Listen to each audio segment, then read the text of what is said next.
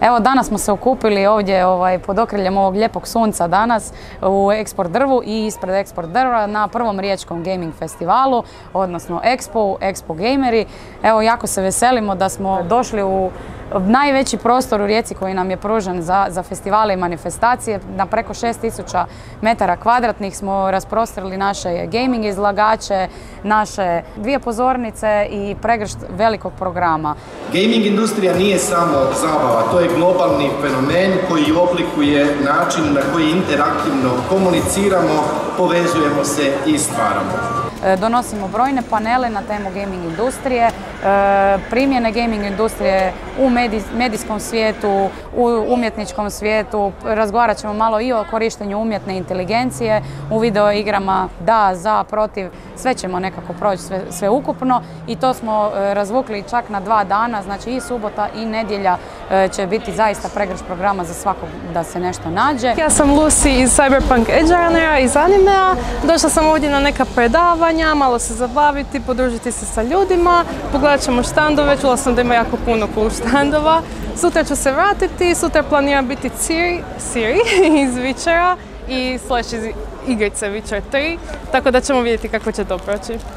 Ovu priču zaista smo ispisali zadnjih e, malo više od šest mjeseci i sa velikim entuzijazmom i, velikom idejom da zaista u Rijeku dovedemo e, gaming industriju na velika vrata i na jedan veliki način a u tom smjeru isto tako radimo novi projekt, a to je upravo obnova ovog ovdje prostora u kojem se nalazimo, eksport drva, koji će kroz sljedećih nekoliko godina dobiti e, multifunkcionalni prostor na 7000 kvadrata, pa se nadam da će neki treći ili četvrti Game Expo u Rijeci isto biti održan ovdje u nekom novom ruhu i što ovim Gaming Expo koji se nadam da će postati godišnja manifestacija trajna, čine ovaj grad boljima, a vama svima još jednom želim dobrodošlicu na Game Expo i uvodna dva dana. Hvala.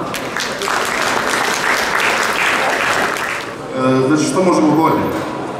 Ono što bi mogli bolje i što se uvijek može bolje je bolje se organizirati, bolje se povezivati, biti poraditi na tom nekakvom networkingu, na dijeljenju znanja, i na dijeljenju ideje, jer u biti ideje su pokretači svake industrije, uz normalno novce, jel?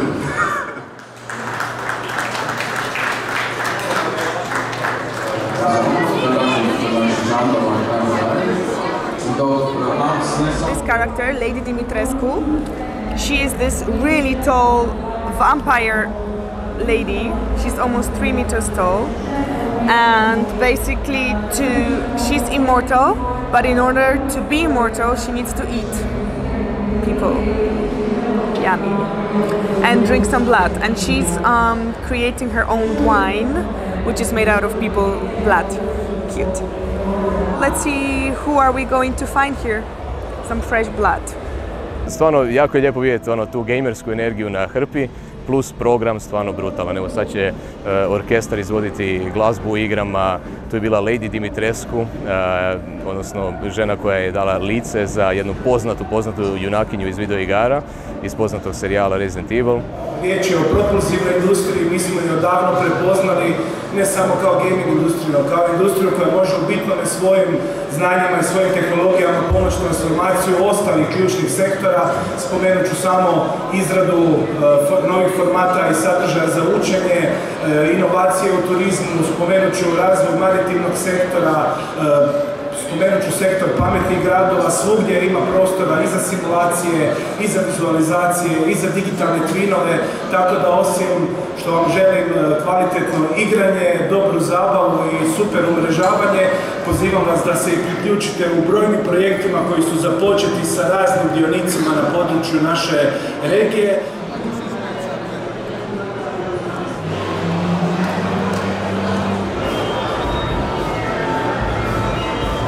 Ja sam Nigvong iz Genshina. Ja sam iz Black Butlera sa Bešom Mikelis i nosim ovo cijeli dan posvećenost cosplayu, ali u redu bila sam konobar, pa nije teško previše. Zlaukusno, iskreno. so, um, that's original Lady Dimitrescu look.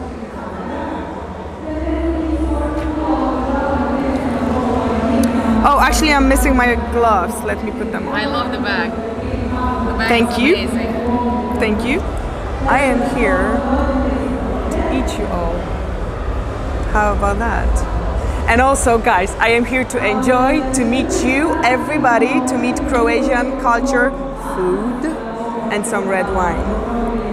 Yes. Thank you for having me. Enjoy.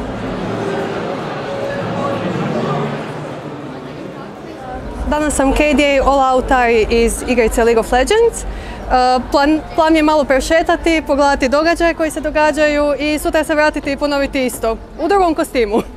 Ovakav event do sad nisam vidio. Bio sam na svakim tim eventima kroz karijeru, eh, od Beograda do Zagreba naravno. Osijek čak je imao jedan ovakav, jako mi je drago da sada imamo nešto slično u Rijeci također i za prvu godinu stvarno mislim da je cijela stvar rasturila.